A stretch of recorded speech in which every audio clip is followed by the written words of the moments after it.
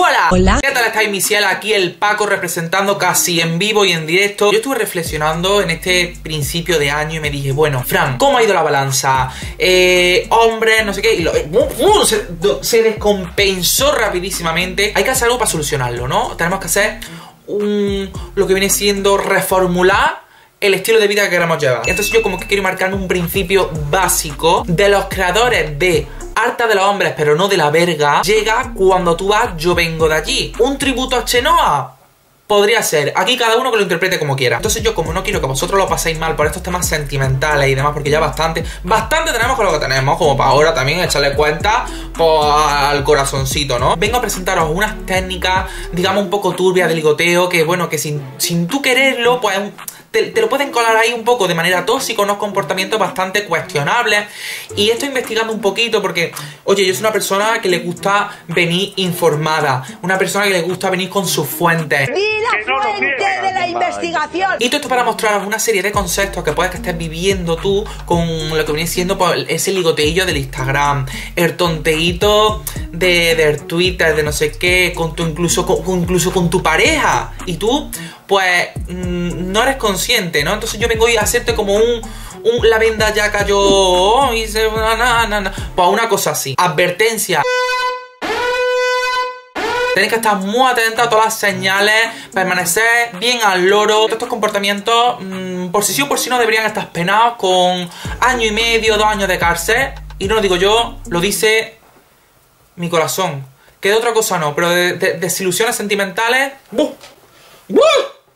¡Buh! Para empezar a andar en este mundillo turbio, vamos a adentrarnos por el primer concepto, que yo creo que es algo que conocemos todo el mundo, que es el catfish. ¿Qué es el catfish? El catfish, el gatopé. Es una situación que se da cuando tú, por ejemplo, conoces a una persona y empiezas a liar con ella y te dice, "Mm, mira, pues soy harto, rubio, metro ochenta, ojos claros, torso apolíneo, y de repente te das cuenta que, eh, que estás chateando con Bertín Osborne y dices, pero bueno, ¿cómo he llegado yo a este punto de mi vida? Ten mucho cuidadito, yo cuando conozco a alguien por internet, yo cojo lo primero que hago. Eh, ¿Tienes Instagram? No sé qué, no sé cuánto, para que yo un poco tenga a esa persona un poco en contacto. Incluso si me da el WhatsApp, yo no quedo con nadie que no me dé el WhatsApp. Porque tú imagínate que ahora yo cojo, quedo con ella, me roba los oros. ¿Quién es esta persona? No tengo contacto. Entonces, pues, yo siempre procuro que tenga un poco una referencia o algo. Aparte de eso, para yo asegurarme que esa persona es la que me está diciendo, yo le echo un ojillo al Instagram. Que tenga, pues, sus seguidores, la gente que sigue, que, que lo- los amigos le comenten las fotos importantes. Porque si él sube, eh, tiene subidas cuatro fotos en dos años que tiene la cuenta, vale que puede que no lo use, que no sé qué, pero hija, que no tenga nadie etiquetado, que no le haya comentado nadie, que los únicos amigos que sigue mm, son cuentas robots rusas, como esas que aparecen mágicamente en los sorteos de los Audi, pues tú dices, mm, También me tenía por tonta y resulta que no lo era tanto, ¿no? Y eso es bueno jugar con eso. piensa mal y acertarás, como dice el refranero popular español. Lo bloquea, lo manda a casa de la madre que lo parió. Y aquí no pasó nada. Luego yo te digo una cosa, gente que sale en la tele. No, es que me han engañado por internet, no sé qué. Bueno, pero no habéis hecho nunca videollamada. No. ¿Y alguna vez habéis hablado por teléfono? No, tampoco, es que no quería. Hay gente que tienen la cabeza encima de los hombros, pues para que, yo que sé, para que no haya un cuello ahí pelo inmundado, porque para pensar desde luego no es. El kitten fishing, un poquito más suave que el catfish, pero eso no quiere decir que la persona que te lo haga no son hijos de p. Evidentemente lo es, pero de cabeza a pies, te lo digo desde ya. Lo pueden hacer por malicia, por inseguridad, de ay, no sé qué. Yo voto siempre por la malicia. Yo me voy de lleno a lo malo. En el kitten fishing no es que te engañen eh, con una foto de, de una de las Kardashian y te diga yo soy esta y tú te lo creas, sino que por ejemplo es como un engaño pero más disimulado. Te dice a lo mejor que mide metro noventa y en realidad mide metro veinte. Le pides una foto y te manda una hace cinco años cuando aún tenía pelo. Oh my god! What? ¿Qué tienes que hacer si te topas ante un kitting fishing de estos? Pues mm, ya un poco según como tú valores. Si quedas con una persona y resulta que, bueno, te has soltado ahí alguna que otra trolilla, pues tú ya valoras, dices, oye, me merece la pena, no me merece la pena, pero te digo una cosa, si te ha mentido en algo tan básico como presentarse a sí mismo, mm, lo mismo un día te dice, toma, bebe, que es agua, en verdad cianuro, es que no se sabe, ¿sabes? Que la- las cabezas... Por otro lado, el ghosting. El ghosting, bueno, la persona que lo hace, yo diría que le deberían de inflar la cara a palo. Una cosa que tú te preguntas y te, se te acaba quedando y por, por siempre jamás, diría yo. Tú estás hablando con una persona, un buen rollo que te caga durante días, semanas, lo que tú quieras, y llega un momento en el que esa persona desaparece. Desaparece como si fuese un concursante de Operación Triunfo que ha tenido un single más o menos mmm, fracasillo y ha hecho un camión para quitar sala y poco más se vuelve a saber de él. El caso es que esta persona desaparece y tú lo vuelves a escribir. Oye, y te dejan leído y no te contesta. Literalmente es como si se hubiese abierto un boquete en la tierra, así, del tamaño de la boca de Emma García. Se lo ha tragado la tierra y tú pues no vuelves a saber más nada de esa persona. No ha pasado nada, no había un enfado, no había... pero esa persona ha decidido desaparecer. ¿Por qué suele ser normalmente esto? Se trata de una persona que le pica un poco la cuquilla necesita tener un poquito de caso y demás. Entonces tú como que se lo das. Hasta luego. Hay que tener poca ya la has cubrido tú esa necesidad que tenía, ya no le interesa. También la persona que te casca un ghosting, básicamente, también podría ser porque tiene miedo un poco a enfrentarse a la negativa de, de oye, mm, lo siento, ya no me interesa. Vamos, lo que viene siendo ser un cobarde de manual. ¿Qué tienes que hacer ante esto? No ir detrás de esa persona. Yo sé que es muy muy insatisfactorio que una persona te haga algo, así malo de este calibre y tú no vayas detrás de ella a, rendirle cuenta. ¿Qué pasa contigo? Eres más nacido, así no se comportan las personas, me has hecho daño, lo vas a... No, no, no, no, no, no. Que tú ves que esta persona le empieza a ver un poco el plumero. O sea, así lo echa automáticamente de tu vida. Muy distinto es que esta persona en tu caso vuelva a aparecer. Que entonces ya no estamos hablando de ghosting. Estamos hablando de lo que se conoce como submarining. Es una tendencia en la que la persona, después de hacerte el ghosting, aparece así, asoma la cabecita sobre las olas del mar, del amor, la asoma como si fuese un submarino, como su propio nombre indica, y vuelve a reclamarte un poco de casito. E intenta retomar contigo la relación como si no hubiese pasado nada. O sea, lo mismo, te dejan leído justo en el momento que le dices, mm, oye, que mi padre se ha muerto, y él te escribe dentro de cuatro meses, y te da el pésame. Según he leído y me he informado, estas personas supuestamente no son conscientes de que te han podido hacer daño. Mira, cartón de verdad. Esto a mí no me vale.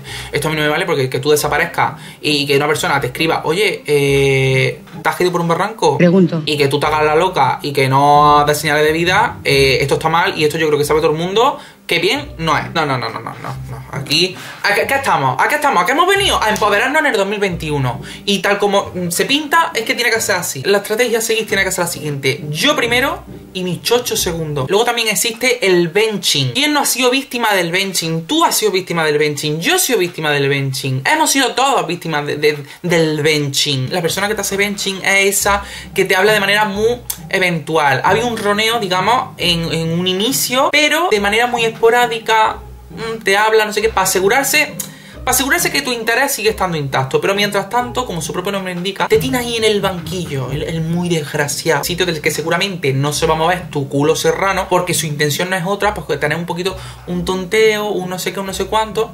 Pero como, como ya he dicho antes, para satisfacer un poco el sentirse deseado, ¿sabes? Como a ti, a otros pocos. ¿Por qué pasa esto? Porque hay gente que se dedica a dejar a otros ahí a, modo benching. Pues yo te voy a decir, porque tan sencillo como que en estos momentos está teniendo algo con alguien, pero por si no cuaja, quiere asegurarse que hay otra persona esperándole y tal, tenés como una alta autoestima y esa es un poco la función que, cumples tú, es el rol, el papel que tú tomas cuando mm, tienes el contacto con esta persona. ¿Esta persona tiene interés en ti? Sí, para que le regales la oreja. ¿A 2021 hemos venido a regalar orejas? No. Las orejas son nuestras y no se regalan. Porque tú dijiste que vamos por la calle sin orejas. Imagina una cabeza. Es que, mira. ¿Cómo sería una cabeza? Oh, qué susto, ¿verdad? Sería como. Mira, o sea, aquí no habría nada. Ahora viene algo asombroso que yo descubrí en Twitter hace ya tiempo. Y yo me, automáticamente me dije, yo soy la reina de este concepto. El breadcrumbing, el, alimentación de pan, ¿sabes? Alimentación de pan, no, eh, miga de pan. Yo me he comido migas así, tú me aprietas la barriga y te echo una amiga. Llega a tu vida que tienes conversaciones, pues, mm, que tú dices, Dios mío, pero es que esto, es que esto son conversaciones existenciales que deberían desarrollarlas en los libros de filosofía, ¿sabes? O sea, es que esto me apasiona, me encanta hablar con esta persona. Y a los días siguientes, pues lo mismo, ni te contesta o te habla con monosílabos. Sí, no. Bien, digamos que son personas que te ilusionan, pero luego ni ellos mismos tienen muy claro qué, pintan hablando contigo. Esta persona te alimenta de, halagos, te alimenta de cosas bonitas y que a ti te, te llenan muchísimo, pero hay un trasfondo de su cabeza que luego se lo replantea y dice, mm, pero si no, no. Y a ti te vuelve loca con tu tigre. Normalmente, por lo que he leído, son personas un tanto inestables que en la vida real pues serían a lo mejor mm, alguien con el que te acuestas, al día siguiente resulta que te trata como si no hubiese pasado nada, pero luego sale de fiesta y te escribe, ay, quiero verte ¿Sabes? Como que ni ellos mismos tienen muy claro qué es lo que quieren contigo. Y, por consecuencia, tú vas a acabar ingresar con, una camilla en la López Ibor. Y tampoco es lo que buscamos. ¿Cuál es eh, la meta de este 2021? El empoderamiento El empoderamiento, hermana, sí, el empoderamiento. En caso de ser víctima de breadcrumbing, este que difícil es pronunciarlo, me ha pasado alguna vez que otra. Y a mí me ha costado verlo. Hasta que he tenido yo una charla con algún amigo o alguna amiga y me ha dicho, mira, Frank, está haciendo la canelorra. Pues al final he dicho, ah, pues sí, toma distancia de esta persona. Vas a contestarle con monosílabos. Déjalo en leído. No, no como castigo, sino como modo de empoderarte y de decir, oye, yo no me merezco esto. Y, ahora esto va a ser lo que yo voy a dar. El cushioning, amiga. ¿Qué es el cushioning? El cushioning parece un, plato, parece como un, sushi, ¿no? El elemento importante de este concepto es la pareja. Es cuando uno de los miembros de una pareja no se siente verdaderamente feliz, ¿no? Con, con, con su novio, con su novia, se dedica pues a tener un tonteo, un poquito de setting, un poquito con gente Qué asco de nota, te lo juro, qué asco. Con el fin de satisfacer un poco este, este, digamos, este amor, ¿no? Que cree esta persona que su pareja no le da. O también por coger y decir mm, que se está cosiendo la ruptura. Bueno, yo tengo aquí este tonteo, tengo aquí esto, que en caso de que mi pareja me deje o yo la deje a él o a ella, pues yo voy a tener aquí esto de repuesto, porque a todo el mundo nos gusta sentirnos queridos, sentirnos deseados, no sé qué, pero chicas, si estás en una pareja, pues lo más normal es que Oye, digamos estas sensaciones, pues que te las cubra, ¿no? La persona que tiene lado tuya. Tú a mí me haces cushioning, tú ya no lo haces más. ¿Por qué yo te cojo? Herpito, lo corto, me voy al río y se lo doy de comer a las carpas. Otro concepto, a la parte preocupante, es el love bombing, la bomba del amor. ¡Boom! Tú dirás, oye, pues aquí no le gusta, ¿no? Que le llegue una bomba de amor. Pues mmm, no. Cuidadito. Es algo que empieza, como su propio nombre indica, como una bomba de, relojería que, se vive con muchísima intensidad. Que si en todo momento hablando por el WhatsApp, que si le pasa fotos diciéndole, ay, mira, pega un petardazo en el bate y este trozo de, excremento me ha recordado a ti, te quiero. Le mandan la foto por el WhatsApp, llamadas a todas horas, que si notas de voz. Al tercer día, como se le cruzan los cables, te presenta a su madre. Y ya conforme va pasando el tiempo y el efecto de, esta bomba de amor, ¿no? el humo que nos ha vendido se va pasando, uh, en picado el interés, va cayendo, pero, pero escúchame, como, como, como una ola. El amor llegó a mi vida como una ola de fuego y de caricia. Digamos que esta persona lo que busca es un poco la novedad, el, llegar, el sentir que, que, mm, ha encontrado algo nuevo, ¿no sabes? Es un poco, se mueve un poco por eso, por ese sentimiento de euforia, de, y ya cuando ya algo que se desgasta, ya como que tiene que buscarlo de nuevo, pero con otra persona. La bomba ya no es bomba, la bomba ya es petardillo de estos que venden en los kioscos que tiran los niños por Navidad.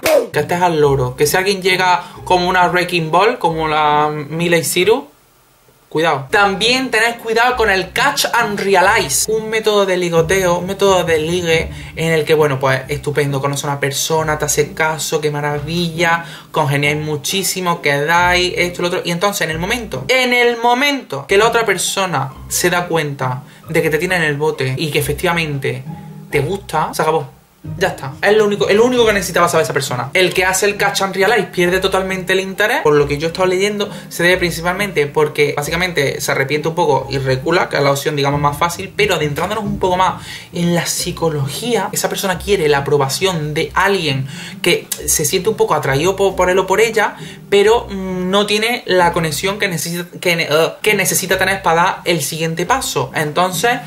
Eh, esto por desgracia, mm, si te lo hacen, pues te lo han cascado y punto. No hagas la tontita, no despies a que se rían otra vez de ti. Es muy importante, ¿no? ¿A qué hemos venido en el 2021? A sentirnos empoderadas. Pim, pam, pum, tengo una pistola que dispara sola. Entonces que no se rían de nosotros. También, mi ciela, cuidadito con el negging. El negging, mm, mm, el negging es bastante chungo, ¿sabes? Cuando estás un poco mm, de ligoteo con alguien, estás un poco teniendo una conversación así y te hace, pues, digamos, un comentario destructivo para Dios y para su madre, pero lo disfraza así un poco como de cumplido. Seguro que si todos nos ponemos a pensar, nos llegan a la cabeza situaciones que se nos han generado con una persona que después de que nos diga algo, lo analizamos y decimos, pero bueno, esta persona ha sido simpática conmigo o ha sido un pedazo de hija de puta. El fin del negging, el minar un poco la autoestima de la otra persona. ¿Con qué fin? Pues que te haga sentir como vulnerable, te haga sentir como que la otra persona se fija en ti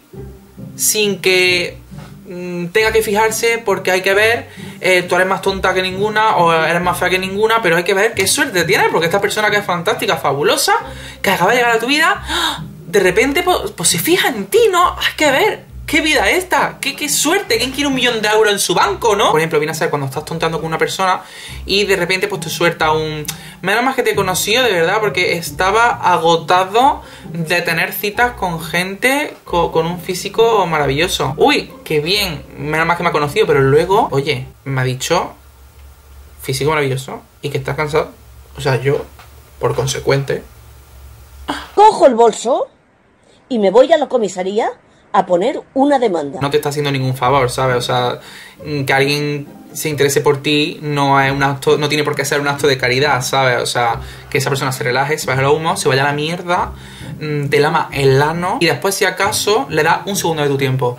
¿A qué hemos venido en 2021? A sentirnos empoderada. Otra cosilla que el panoli de tu barrio también seguro que lo has hecho alguna vez, el haunting. El haunting es la cacería, el acecho. Estás hablando con una persona, esta persona desaparece del mapa, ¡pum! ¿Dónde está? ¡Ah! ¡Sorpresa! El mago pop se la ha llevado. Tiene así un poquito de tintes de ghosting, de crumbing, pero no viene a ser igual. Simplemente una persona que desaparece y de repente en un momento dado llega de nuevo a tu vida, pero de una manera un poco más ridícula, una manera así un poco más acechándote de la distancia, rollo, entra en tu Instagram y te deja me gusta fotos tuyas de 2004, que tú dices, pero bueno, si en 2004 no había Instagram, pues esta persona se busca las puertas, busca un agujero en el sistema informático de Instagram y lo hace. Tú ya hueles las intenciones, ¿no? Y en esto reside un poco el hunting, que es una persona un poco circa, para enterarse, tienes pareja, no tienes... ¿Sabes? Mm, quiere casito, que está en tu mano dárselo o no, pues sí. Y por último, vas adentro en el mundo del tuning, que no es pintar tu coche de amarillo pollo, dibujar unos tribales y ahí pones música techno, tú, pu, Es por una persona que, como ya he dicho, como el caso del ghosting, desaparece, deja de escribirte, te trata de una manera más fría, se aleja de ti, pero en el caso del tuning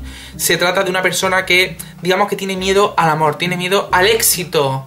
Mm, sentimental y se pone como una especie de escudo porque no quiere ser dañado, porque no quiere mm, sufrir, porque entonces se pone este escudo, esta protección y toma distancia de ti. Que tú dices, ay, pobrecito, bueno, pobrecito, sí, todo el mundo la pasado mal en la vida, hijo, pero tampoco pagues conmigo tus miedos y tus incertidumbres, que yo lo tengo que confesar, yo he sido un poco así con anteriores personas en otras etapas de mi vida. Yo soy un poco tuning mm, de, tuning, yo te hago tuning. Hay gente que ha tenido mucha paciencia conmigo, otra gente que me ha mandado al peo de inmediato. Tú quieres espera, el que espera desespera, dicen, también te lo tengo que decir, pero claro, bueno, tú valoras cosas, esto, lo otro, pero esta persona tiene esta barrerita, que tú lo sepas, corazón. Y esto es todo. Luego, para que digan que aquí no se aprende, pues claro que sí, mi ciela. Ten cuidadito porque lo sentimental es una cosa muy delicada. Hay cosas pues, que son un poco turbias. Tienes que ir un poco siempre con la mente abierta, con el corazón mm, sin barrera. Pero claro, hasta cierto punto. Porque luego hay gente que llega a tu vida y toma unas actitudes un tanto mm, turbia y pasan estas cosas que te hacen por el ghosting, el blenching, el, animal crossing, te lo hace todo. Cuidadito, ¿vale? Porque yo para ti lo que quiero es, para este 2021, empoderamiento y éxito en la vida. Si te ha gustado el vídeo no olvides darle a me gusta y si no estás suscrito al canal pues puedes hacerlo aquí abajo, aquí mismo. Al ladito también hay una campanita que en el momento que tú la pulsas pues te va a llegar una notificación a tu móvil de cuando yo subo un nuevo vídeo. Y eso está muy bien porque, o sea, que tú estás con tu teléfono para arriba y te avise, ¿no? Oye, que el Paco sube un vídeo tal, míralo, si quieres, no sé qué. No, si quieres no, lo mira y punto. Poco más tengo que contaros, tan solo que nos vemos muy pronto, nos vemos en el próximo vídeo y adiós.